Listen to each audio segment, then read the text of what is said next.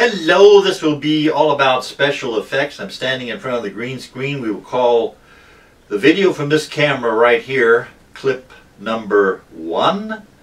And we will call the video from the camera over here clip number two.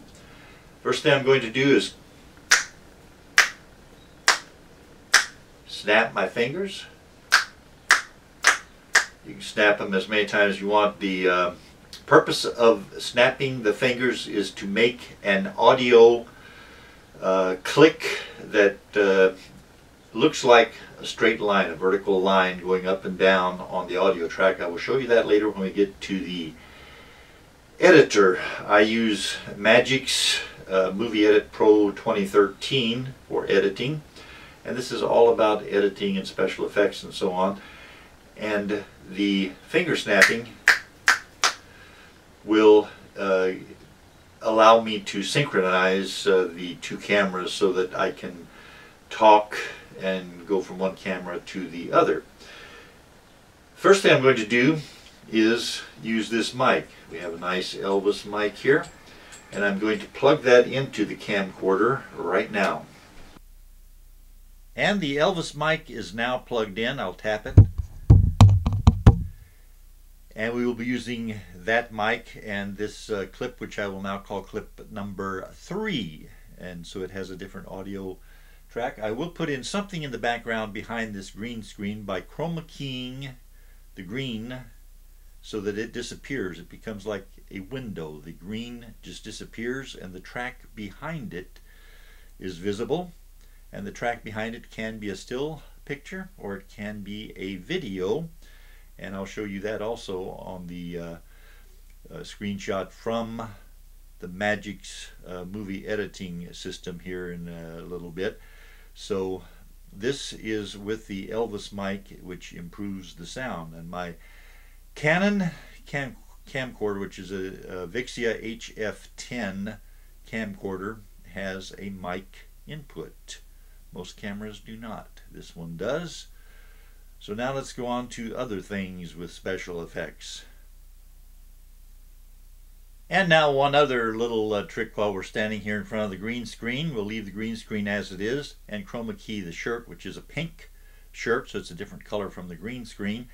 And it is something similar to myself, so a lot of me will disappear when I chroma key the pink shirt and we see what is on the track behind it. Because when you chroma key something, it just more or less disappears and becomes a window and you can look through that window to see the track uh, behind whatever it happens to be. Now we'll take off the pink shirt and uh, use the dark green sweater and see if we can chroma key myself just about out of existence except for the head.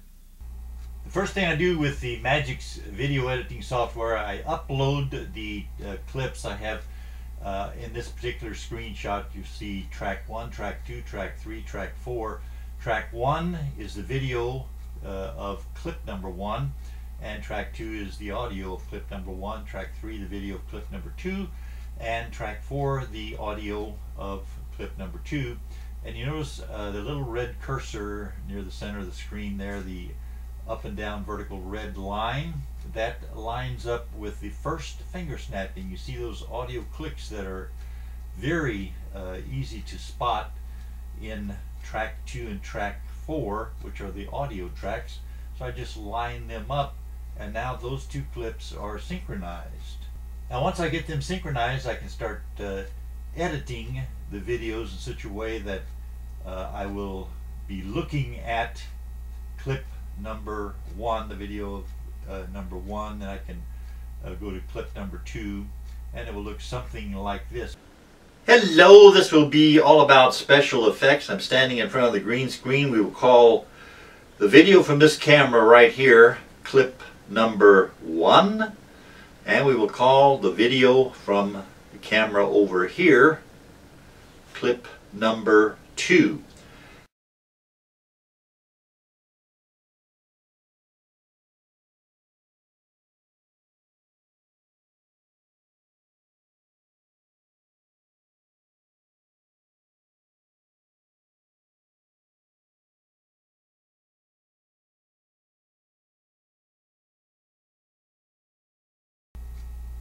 And then I can put uh, something in the background of uh, either clip because they have the green uh, screen there that I can chroma key and then I can put uh, something in the background. Just like here if I wanted to I could use green right here. And I could put anything I want in that picture.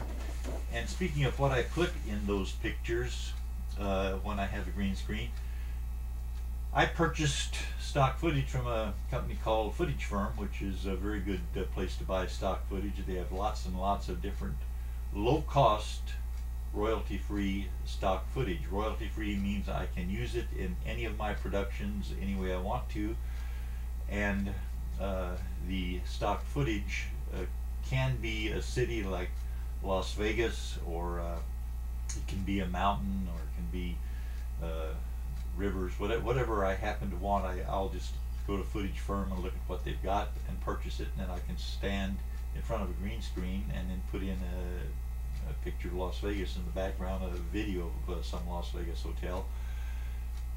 So getting stock footage is one of the things you want to do. You can also get free, not only royalty free, the royalty free means you can use it any way you want to, but free uh, if it's free, royalty free, that means you don't have to pay anything for the right to use it.